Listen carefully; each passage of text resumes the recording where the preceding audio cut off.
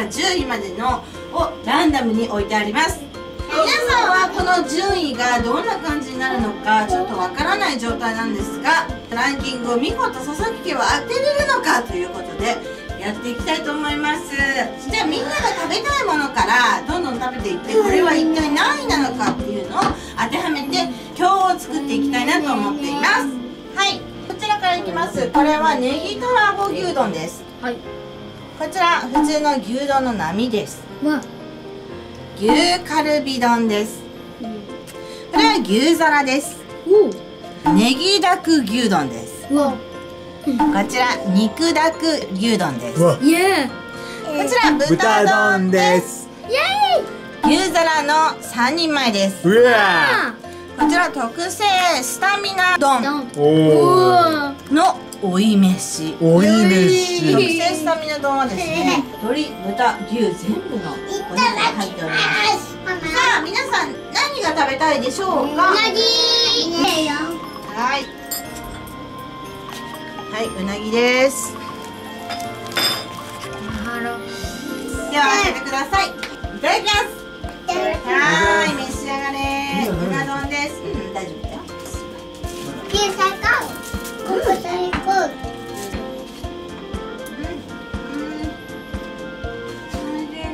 のねいろんなこの牛丼屋さんあるじゃん。うん。の中でもやっぱ吉野家のうなぎはやっぱ美味しいんだよね。あ確かにいろんな牛丼屋さんでうなぎよく出してるけどなんか吉野家が一番おかわりこれ。他の牛丼屋さんのうなぎはねあんまり食べないけど吉野家は食べる。さあ皆さん食べ終わってきたところで何位だと思いますか？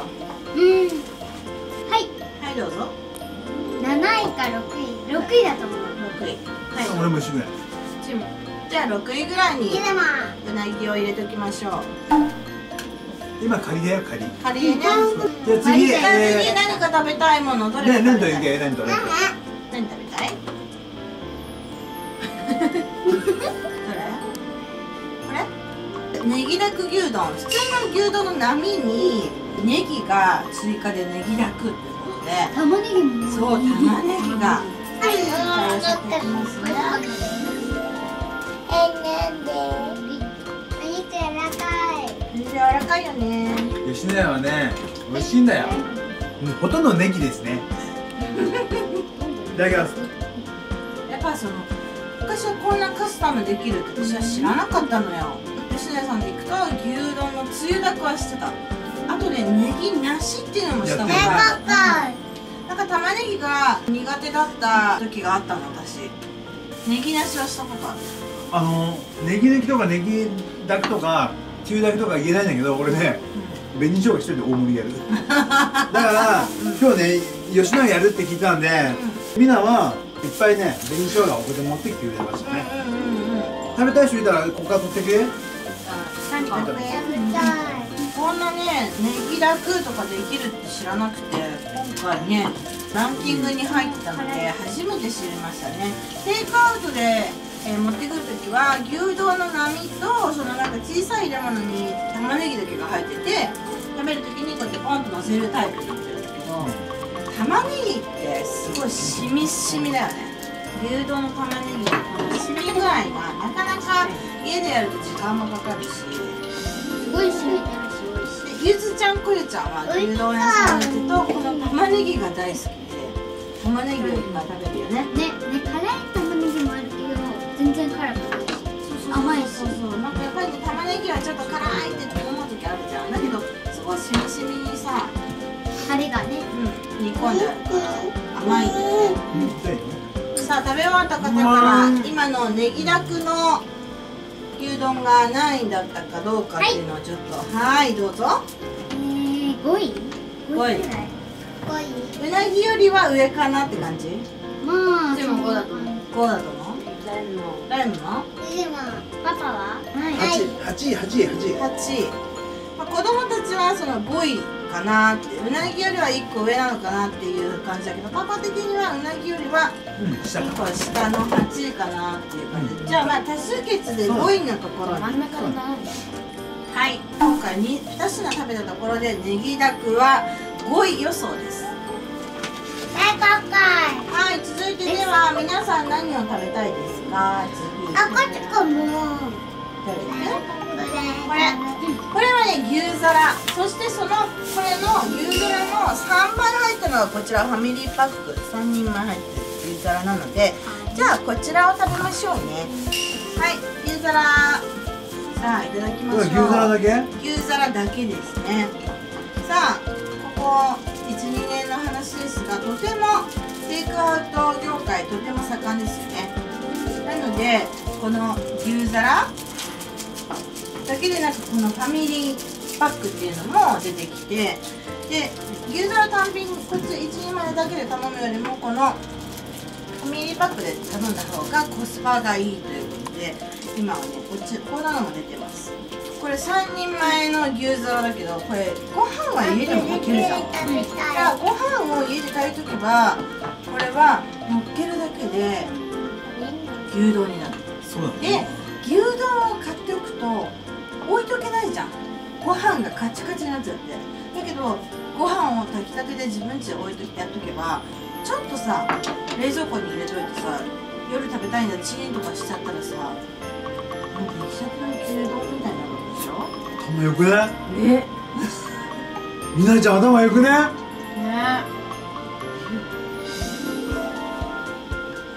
えー、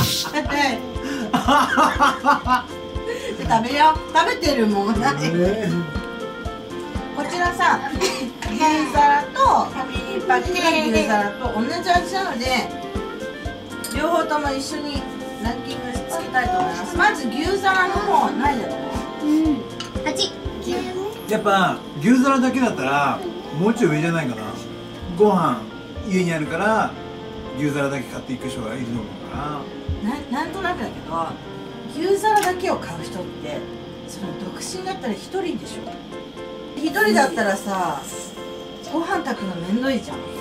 家族だったらご飯は炊くけどって思っちゃうの。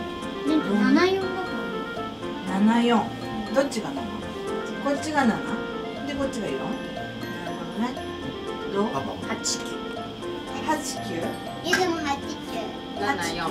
7474でいこう。じゃあミリー牛皿が4で7が。って感じ？はい。じゃあ続いてどうしますか？何いきます？豚飯いってきます。豚飯いってみましょうか。九食べたあのさ一時期さ牛が取れなくて牛が輸入できなくてそうだ。豚丼だけの時あったよね。そう。いただきます。いただきます。いただきまそうね、あの本当時期は豚丼ばっか私も昔はね豚丼何年前だっけね。もうん結構前だけど私自分で豚丼買ってるのを覚えてるぐらいだからだからもう子供はいたんだな。その頃はもう牛丼は牛丼屋さん行っても豚丼だったね。うん、でしかもすごく安かった。290円とかさ200円とかさすっごい安く買えたからやっぱ家計に優しいっていうか私吉野家さんに助けていただいてるって感じよで家でやるときは牛丼よりも豚丼を作るそうが私は多い。けどねね久しぶりに豚の辛い。うまいわ。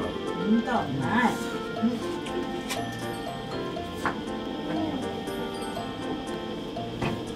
うん。うん。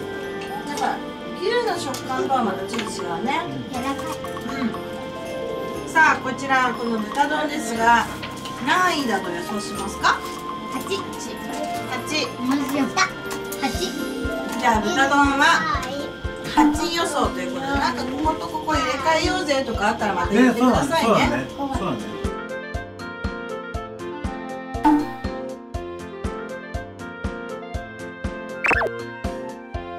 はい。じゃあ続いて何食べますか？うん。はい。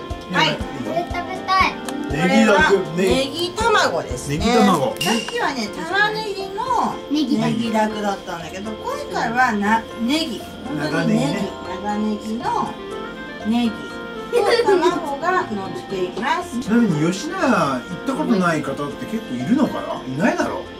吉野家全国区ですよね。だ吉から多分なんか結構見たことはあるいや絶対あるでしょ。ない地域ってあるの？でもうちの近く吉野家ないんだよ。あ我が家ね。うん。好きやいやわちょっと行けばあるんだちょっとねでもだいぶあの歩いてちゃいけない。うん。私の実家があったところも歩いてじゃ行ける距離はなかったな。いただきます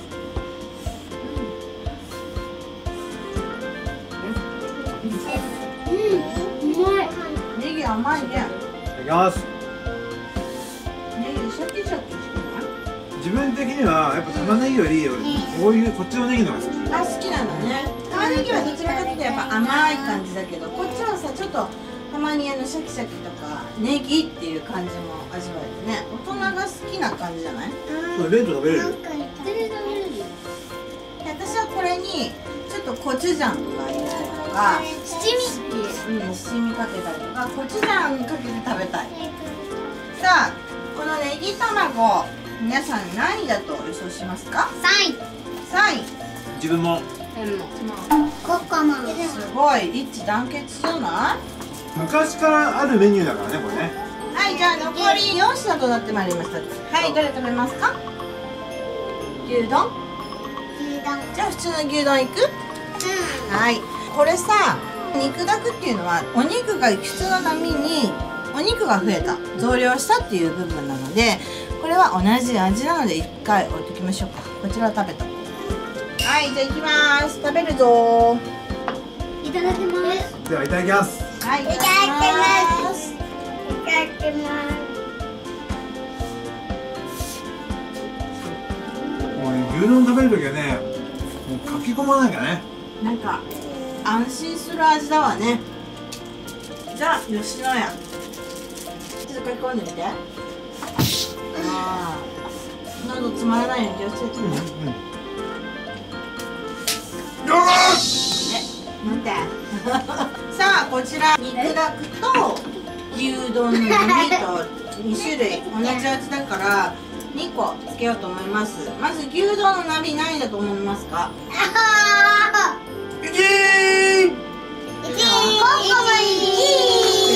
牛丼の波は1堂々の1ゃあ肉だくはどう？肉だくうーん九。9? 肉だくは9九。はいではあと残りに2品です。こちら牛カルビ丼です。こちら特製スタミナ丼でございます。さあどっち食べますか？先に。カルビ。カルビからいきましょう。ではカルビ丼は白髪ネギ。なんかネギだけでも3種類のネギを使い分け分けててなんか芸が細かいというか。これにはコチュジャンみたいなのがついておりました。コチュジャン食べさあではいただきます。初めて初めて食べるかもしれない初めて食べる私もいただきます。えみなも？はい。なじゃな。い牛カルビ丼初めて。うん美味しい。うまい。あの焼肉屋さんでご飯の上にお肉乗ってました。っていう感じよ。本当？じゃあそそうなの？うん。焼肉屋さんでお肉乗っけました全部食べた。ああうまいね。すごい美味しい。脂が乗ってるね。あこれうまいわ。とっても美味しい。コチュジャンめちゃくちゃ合う。うん。パパの真似。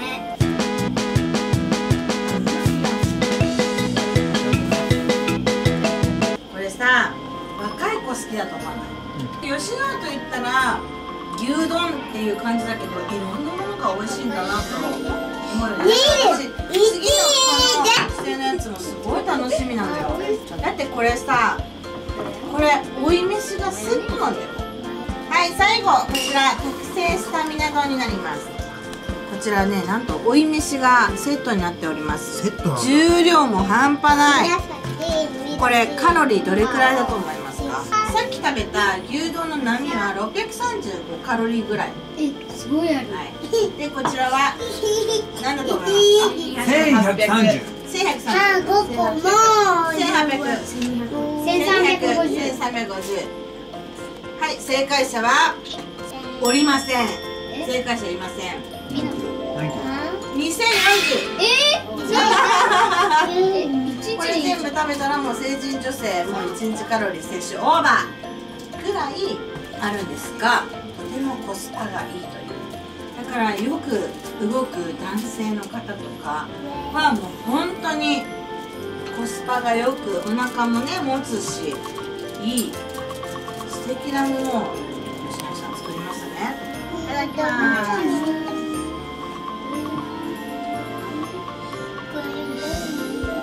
うまいうーん。これ系は辛いよね。でも辛くない。食べる？うん食べるラー油の辛くないバージョンみたいなのが入ってえー、いただきます。るニンニクたっぷりおおこれね昼お腹空いた時に最高。そうだね。やっぱ体を動かしてる方とかたまんないように大学生とかさ高校生の部活帰りの子とかさたまんないでもシオンとか好きだと思う。ああね。うん。でもこの話は入ってんだねうんうんうん。い飯がある理由とかってなんとなく感じますでやっぱりちょっとなんか味は濃いめであるからでもさちょっと待ってこの追い飯さなんかかかなんかかかってるかも。塩あんのこれさ山椒じゃないの？山椒が上にかかっちゃっただそうけ山椒が上にかかっちゃって じゃあ子供と10位うなぎは牛皿は10位うん。7位のものだここはいんじゃないはいというわけで今ね話し合って佐々木家的ランキングを、えー決定いたしましたので。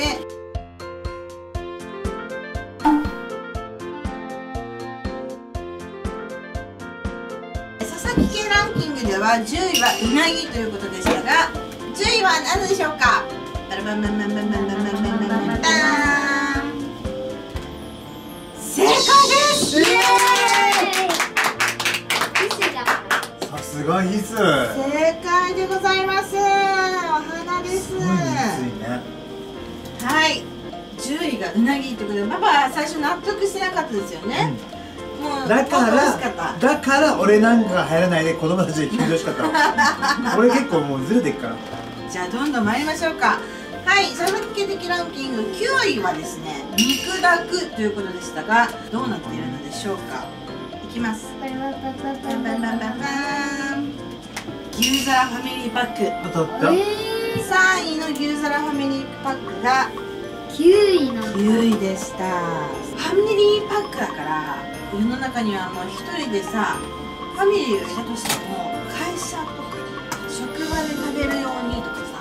方もいるからだからさ夜ご飯限定になってきちゃったりするんじゃないの？はいでは参りましょう。8位は豚丼ということでしたが。バラバンバンバンバンバンバン。ママもっと上だと思うけどなネギだくです。えー、8位ネギだくでした。全然当たらないんじゃ難しいね。はい。7位。7位牛皿ということなんですが。はいいきますよネギ玉牛丼。ネギ玉牛丼、はい2位に設定しているネギ卵。あそうそんなにしてもなんだ。ネギ玉でしたはい続いて6位。佐々木家はスタミナ丼を設定しております。6位いきます。牛皿です。牛皿。まあでもここはちょっとニアピン惜しかったはいじゃあ次行きましょう。5位。このネギダクを予想してますがもう8位に出てしまったので違いスタますね。これスタミナ丼と思う。ああいいとこつくねヒスはいでは5位です。5位。今回なかったので豚丼にしてるんですけど本当はですね新味新見豚丼とか新味豚丼っていうのかな。そういう豚丼も出てたみたいでその豚丼でした。さあ続いて4位カルビ丼を設定してますがはいいきますよ。正解です。カルビ丼でした。じゃあ続いて3位です。じゃあファミリー牛皿としてますが3位いきます。バラバラバラバラバラバラバーン。スタミナ。肉だくです。えー、いいね書いてる肉だくだったんですか？はい肉だくです。はいじゃあ2位は？はいスタミナです1位は正解です。いやーちょっとこれがね驚きでした。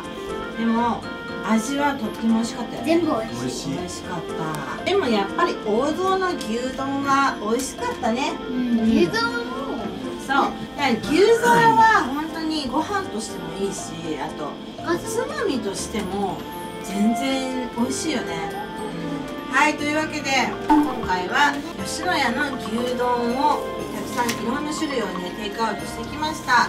佐々木家は一体、えーランキング当たるのかということでいろいろ予想してみたんですがまあ正解率33%ぐらい。10問中 3, 3つ正解しました。えどれもどれもこれも美味しかったね。うん、どれもこれも美味しくって。いや本当にあの飽きないね。ずーっと昔からあるしずっと昔から食べてるけどはいというわけで今回は牛丼を食べ食べましたね皆さん美味しく食べました